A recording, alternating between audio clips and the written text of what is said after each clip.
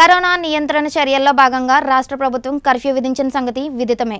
ఈ నేపథ్యంలో ప్రకాశం జిల్లా పెద్దదోర్నాల పట్టణంలో మధ్యాహ్నం పన్నెండు గంటల నుండి ఉదయం ఆరు గంటల వరకు కర్ఫ్యూ నియమ నిబంధనలు పాటించిన దుకాణదారులకు నలభై వేల రూపాయలు జరిమానా విధించినట్లు తహసీల్దార్ వేణుగోపాల్ తెలియజేశారు. ఈ క్రమంలో ప్రభుత్వ నియమ నిబంధనలు ఎవరైనా అతిక్రమించినట్లయితే చట్టపరమైన చర్యలు తీసుకుని క్రిమినల్ కేసులు నమోదు చేయడం జరుగుతుందని తహసీల్దార్ వేణుగోపాల్ అన్నారు. పెద్ద డోర్నాల పట్టణంలోని పలు హోటళ్ళు కిరాణా షాపులు కూల్ డ్రింక్ షాపులు విధిగా మూసివేయాలని దుకాణదారులు హెచ్చరించారు.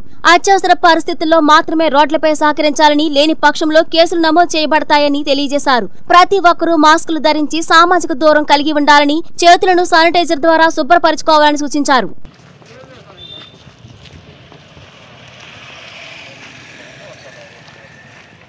మన దోర్నాల్ టౌన్లో పోలీసు వారు ప్లస్ ఎంపీ ఎంపీడీఓ గారు గ్రామ పంచాయతీ సర్పంచ్ గారు ఆ తర్వాత రెవెన్యూ వాళ్ళు అంతా కలిపి ఆ, తర్వాత మనం గ్రామం టౌన్లో తెరిచి ఉన్నటువంటి ఈ షాపులు అయితే వాళ్ళని బంద్ చేయించి వాళ్ళ దగ్గర కూడా విధిగా పెనాల్టీని వసూలు చేయడం జరిగింది. రేపు నుంచి అయితే ఎవరు పన్నెండేళ్ళ తర్వాత మన షాపులు అయితే ఓపెన్ చేసి ఎవరైనా మాస్క్ లేకుండా మనం గంటల తర్వాత వీధిలో తిరిగినట్లయితే వాళ్ళు కంపల్సరీగా మనం పెనాల్టీ విధించడం జరుగుతుంది.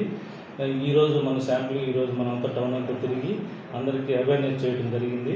రేపు నుంచి కంపల్సరీగా పన్నెండు బంద్ వాళ్ళు దుకాణాలు మూసివేయడం జరగకపోతే వాళ్ళు పన్ను అట్లానే వాళ్ళకి క్రమశిక్షణ చర్యలు తీసుకొని వాళ్ళ మీద కేసులు పెట్టడం జరుగుతుంది అందరికీ తెలియజేయడం జరిగింది.